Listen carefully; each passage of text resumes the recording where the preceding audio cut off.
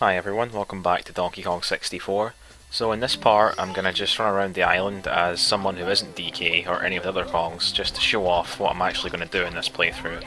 So yeah, if it's not obvious already, and it bloody better be obvious, this isn't actually DK64. It's a, a hack that's just recently come out called Super Donkey Kong 64, and let me tell you, that name is not a lie.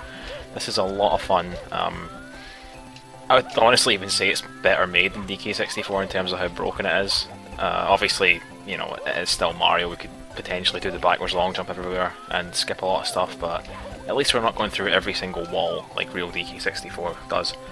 So I'm just going to play around in this. This is a completed file that I did uh, when the game came out, the day it came out actually. It has 50 stars as you can see, and the reason that I'm getting into this file before I start the main section of the playthrough is just to show off the restriction that I'm going to be using in it.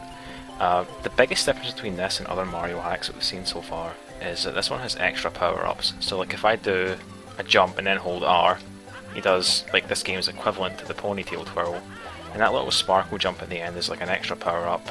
It's part of the special triple jump that you can also unlock, so if I hold A, he does like a fourth, bigger jump. Uh, if I press L, he goes Metal Mario for a sec.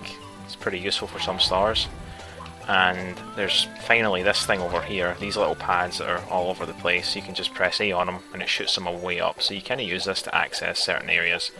Um, there is one final power up, that is the BLJ, the backwards long jump, which lets you build up speed in the negative direction and get through, you know, many walls, although a lot of them have been pretty well made in this game, so it's still kind of hard to do.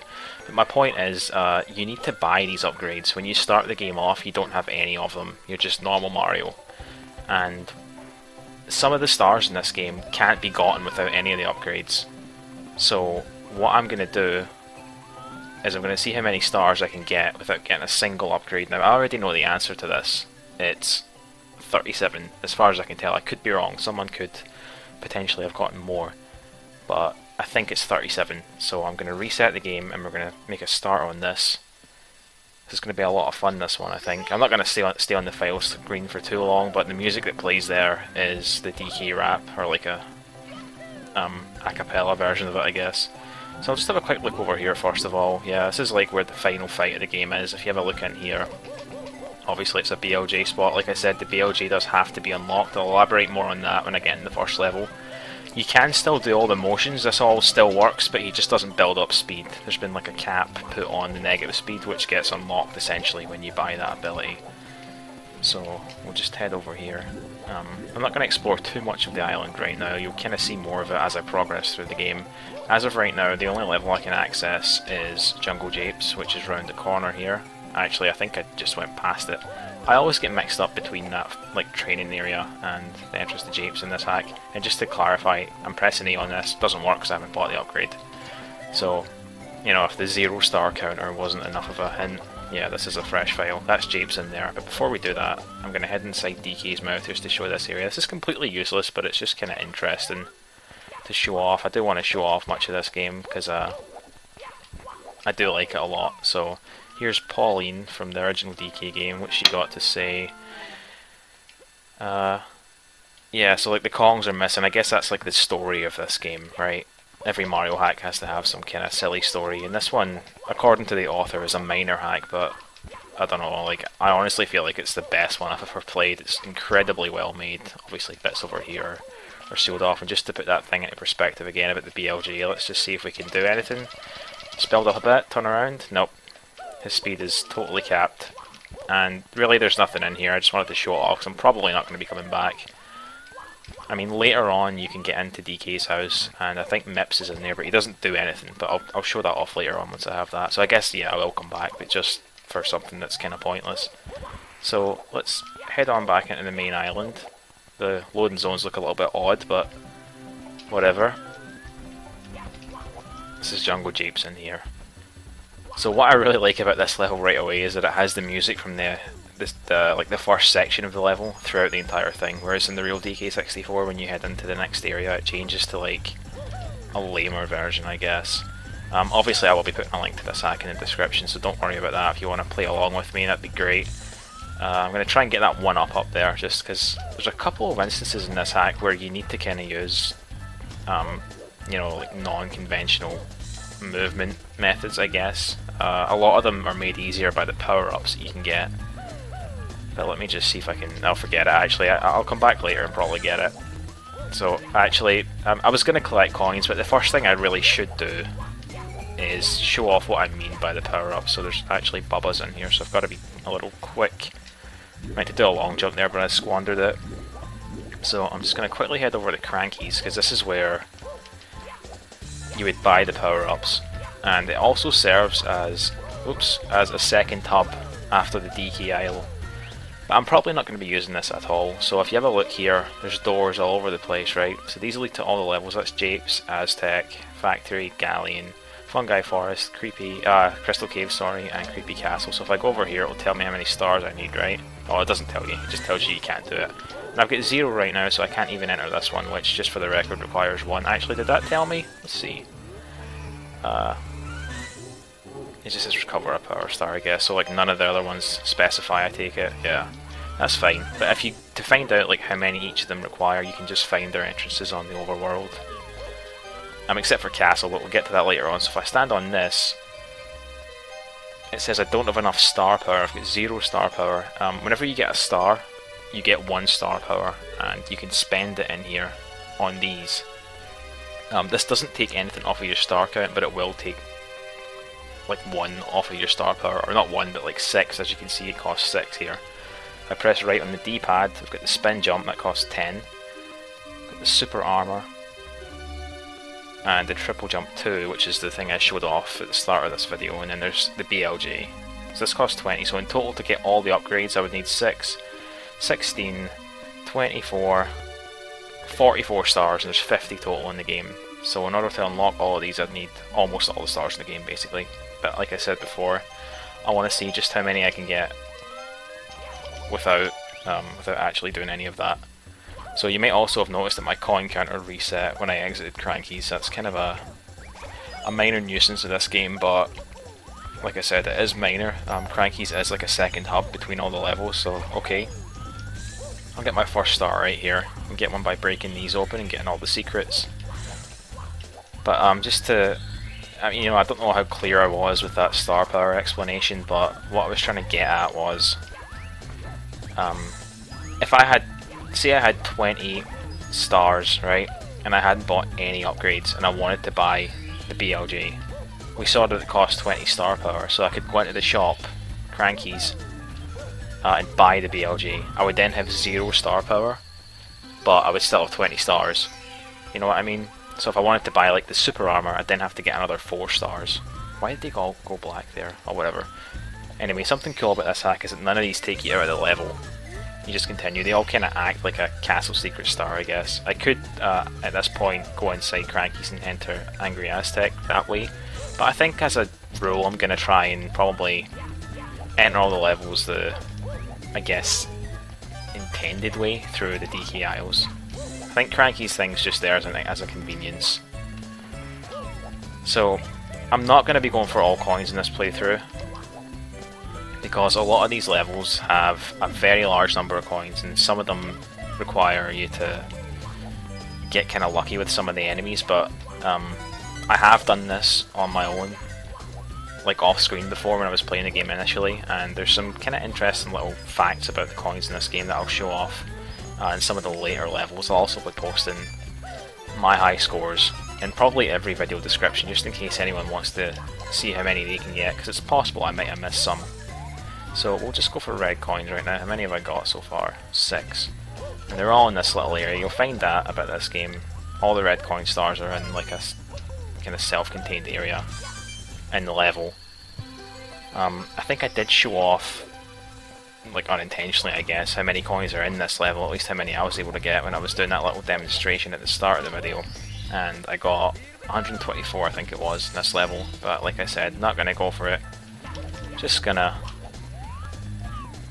just gonna see what I can do to get the 100 coin star. I'm not gonna bother getting every individual one like I usually do. Uh, before I go over there, I'm actually gonna head over to this section because I know there's quite a bunch over here. So, you know, like many parts of the game are kind of sealed off. There's there's nothing to do in here. You can kind of easily get yourself stuck in some of these places, so just be careful. I don't think that one's actually an example of that, but I feel like I might have done it once. There's a Lakitu up there. See if I can get him to come down so I can get those coins off of him. Alright. These things are always a pain, even in the main game. I know, I really struggle with the timing on them for some reason. Okay, so I don't think there's anything in this, but grab the crazy box. So yeah, um, this hack was made by Kaze. I'll be putting a link to his channel in the description because uh, he's done quite a lot of stuff when it comes to hacking this game. So he's definitely worth a look if you're interested in this kind of thing. I'm not going to bother killing all of them, I don't have to. Like I said, I'm only going to go for 100, I don't have to don't have to worry about getting all the coins. So you would naturally think that there'd be a star hidden over here in the place that normally Chunky Kong gets into by ground pounding, but if you just do this, all you get is a, a 1-up. However, there is a star above me, up here, which normally you're supposed to use, well you can't really see it, but it is on that ledge. And normally you're supposed to use one of the power-ups to get it. Um, that is one of the stars I can't get, as far as I know. I'd love to be proven wrong on that, because that'd be such a cool one to get but as of right now I'm not able to do it. And I'll explain why that is when I get to the higher up section of the level. Okay, so it's just... There's the third one. Probably don't have to kill all of these guys, but whatever. So here's... Th this one doesn't count as a power-up, by the way, because you don't have to buy it. I'm not counting it as a power-up. You only use it once anyway. It makes Mario small. So now I can run around like this. He's still exactly the same, he just looks smaller and his hitbox is a little bit smaller I guess. Lets me pop in there and I'm actually going to go and restock everything because I'm scared. Um, it has exactly two proper uses if you don't count that one up and that's to come in here and get the blue coins. Oh, camera. And over here there's a star in here now. I tried for a while to like get that star just by kind of clipping the side of this log from the outside kind of like the cannonless thing. And uh, thank God I could get out of that in regular Mario 64, and I was never able to do it.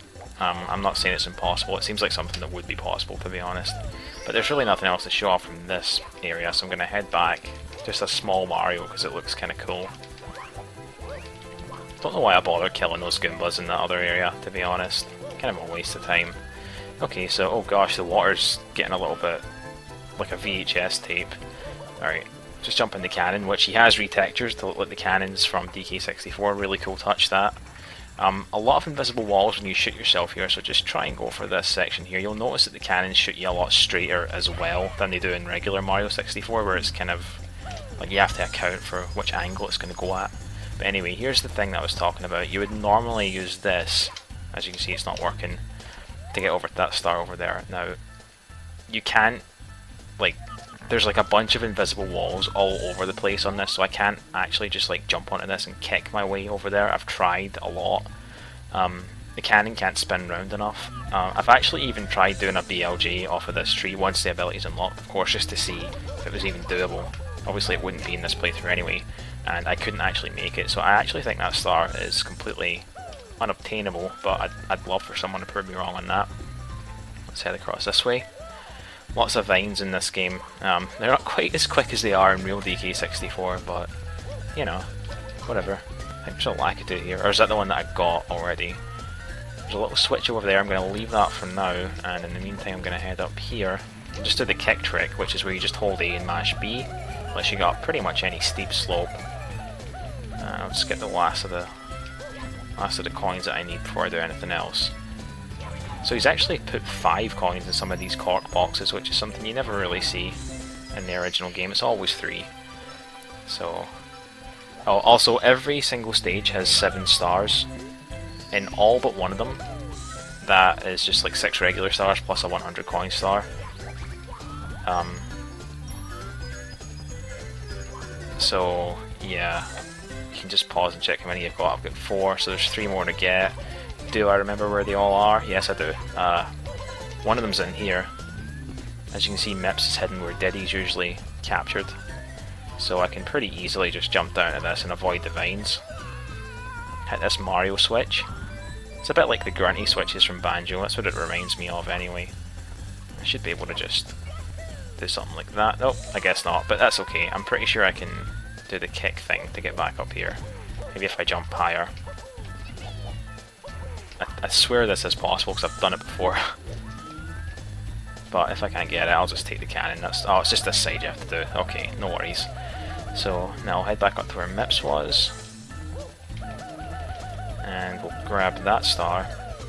And that means that we've got all of the stars that we can grab in this level. Gotta pick them up.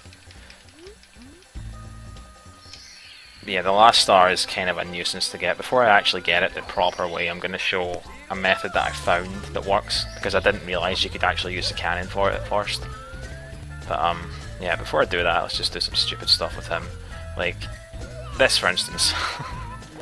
so yeah, he's he works exactly the same as he does in the real game. You can use him to clip through walls. It is of absolutely no advantage to us. But obviously I'm gonna probably do it again because it's fun. Where else can I go with Mips?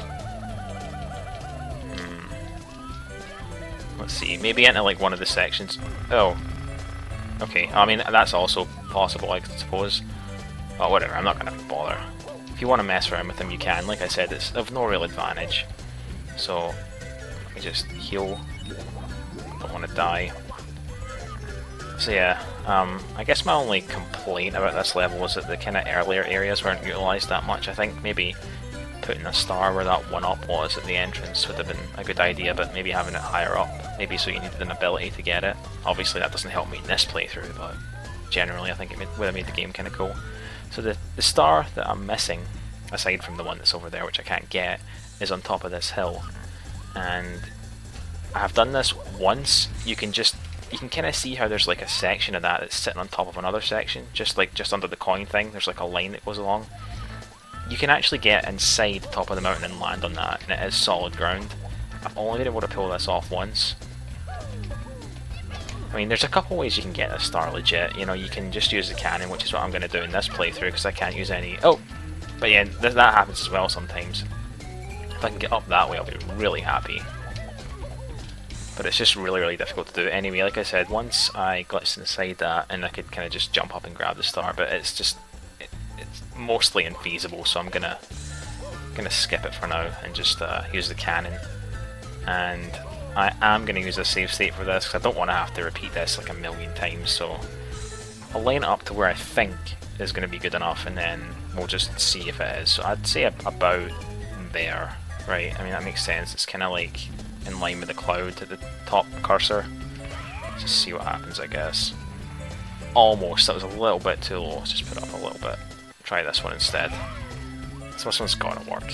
Yeah, I wonder though, like since I'm up here I'm gonna see if I can just like get inside this thing. Okay, that's no.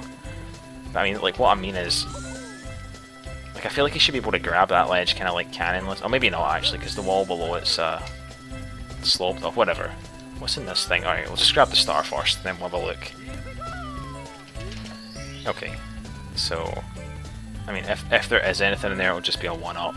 But I must see. Yep, I managed to get it, so that's cool. I guess uh, I'm going to head back to the level entrance now. Or maybe not. Um, this is really hard to get out of. Oh, there we go. Oh, that was uh, that was kind of neat. But yeah, we're, pretty much done with Jungle Japes. Like I said, not going to go for all coins. It's not particularly challenging in almost every level. There's a couple where it is a bit of a pain, one where it's incredibly difficult. I'll be covering that a little bit later on. Those of you who watch my stream have probably seen that already, as I spent quite a lot of time doing it for basically nothing. I wonder if there's another way to get up here. I've done it like with that exact method that was shown off there before, but... Oh, wait, maybe you can just do this actually. Yeah, and then like hold back. Let's just see. I'll only try it a couple of times, I don't really care that much, it's only a one-up.